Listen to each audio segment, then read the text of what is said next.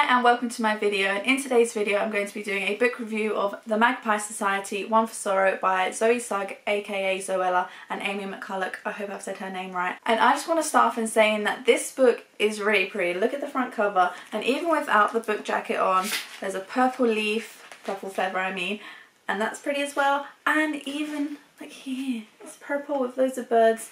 And on the chapters, let me get to chapter each chapter has like birds flying around where it says one, chapter one, or chapter two, and so on. And I also just want to show off that this is signed by the authors as well, so that's cool too. So this book is a murder mystery and it's the first I've read in this genre and I was pleasantly surprised. I really did like it. I read this within three nights, so about 100 pages a night. How it's written is pretty basic. That's not a bad thing because like it's nice and easy to read. You can just read and really like it's not hard to grasp. So this book is a murder mystery and it's based on the death of a student called Lola Radcliffe and these two students called Ivy and Audrey who are trying to uncover the reason behind her death. And out of this comes a podcast called Who Killed Lola? And they're also trying to figure out who is running this podcast because they're saying some things that they shouldn't be saying. And this isn't spoilers because it happens within the first few chapters.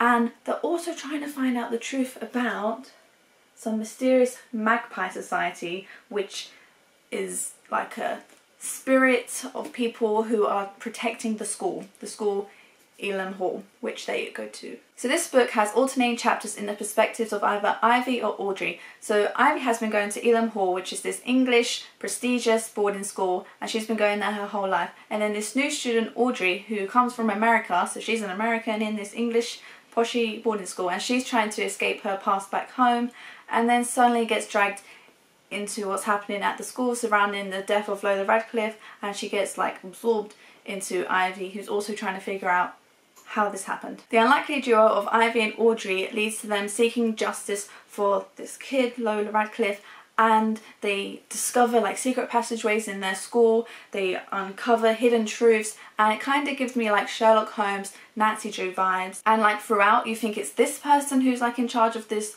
who Killed Lola podcast, which is like circulating the school, and other times you think it's this person, and it turns out it's this person, and you're like.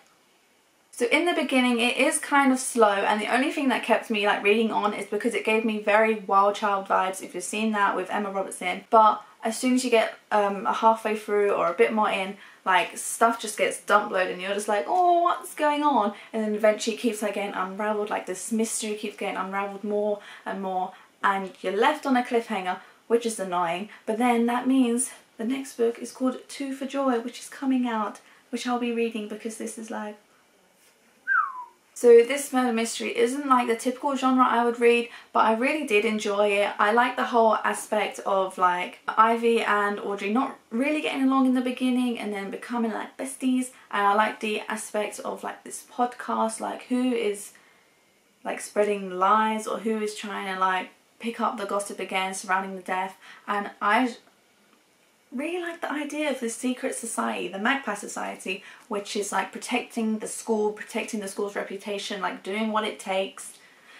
And I just like the reference to birds, well particularly the magpies. Throughout like throughout descriptions you'll see like you'll read about these birds here and what they're doing and all that. And I like the whole like beware of the magpies and don't cross the magpies and like school traditions of like throw a penny in the water and the magpies will protect you. So this was released just a couple of weeks ago and so the references in it are very very like they're using Instagram, they're using Snapchat, they're using like all the stuff.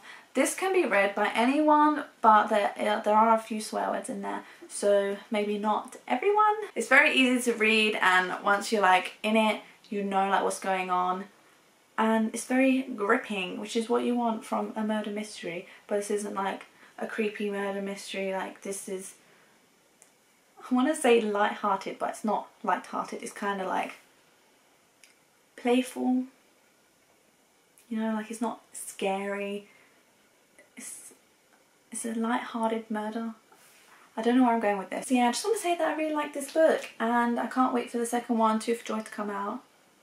And yeah, if you like my review, please like and subscribe for more obviously because I'll be reviewing when the second book's come out and I'll be reviewing other books and other things like that. Yay, bye!